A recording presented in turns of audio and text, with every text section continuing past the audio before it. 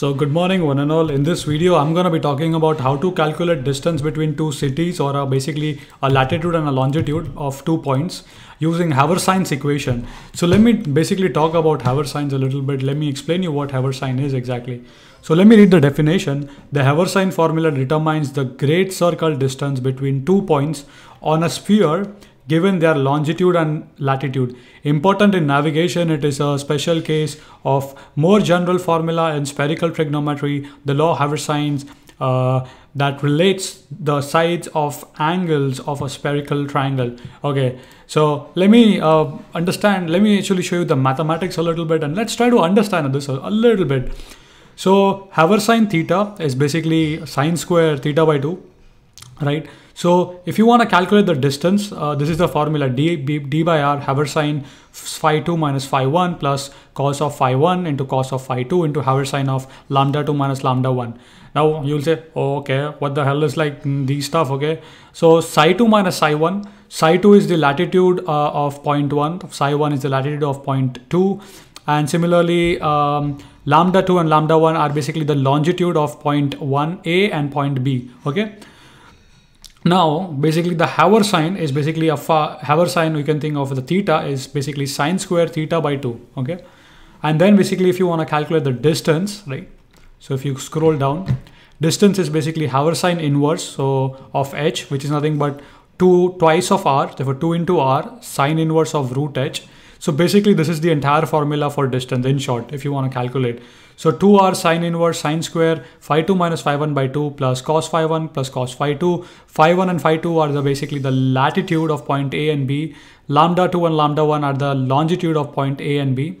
So you calculate this, I'm sorry for that. So you put this everything in the formula and then you would get the distance, okay?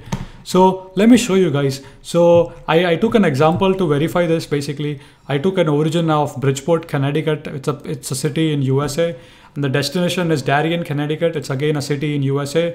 I want to compute the distance between two of them. And um, so basically I made a function. What you can do is this basically computes that uh, formula. It gives the distance in kilometer, okay? So what I did is basically I just call the function distance and I pass the origin, latitude, longitude.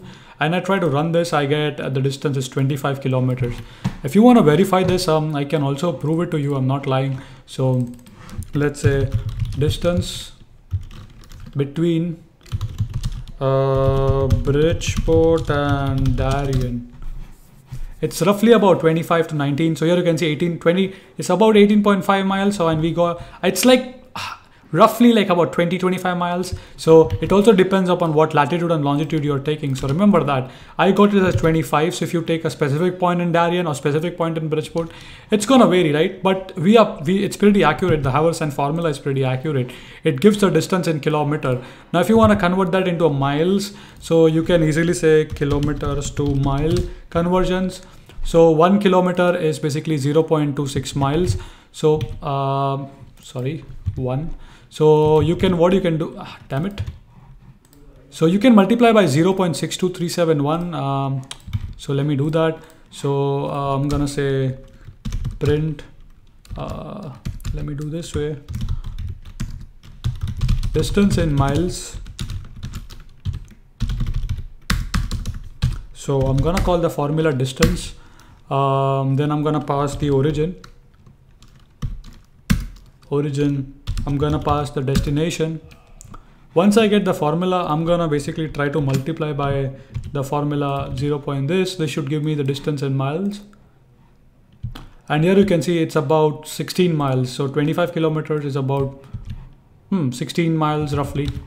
So we can verify that. Ah, yeah. So you can see I pasted the entire like kilometer and it's giving me 16 miles. So it works fine, right? So hope you will enjoy this tutorial.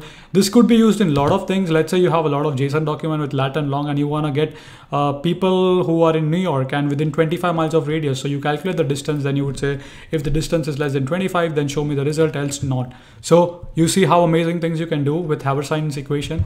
So let me do this way. I'm gonna put uh, the reading materials for you. So the, the Wikipedia page uh, here and I'm also gonna put uh, this page right here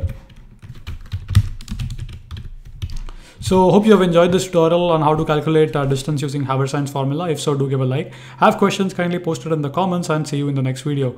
As usual guys, keep smiling, keep coding. See you guys next time.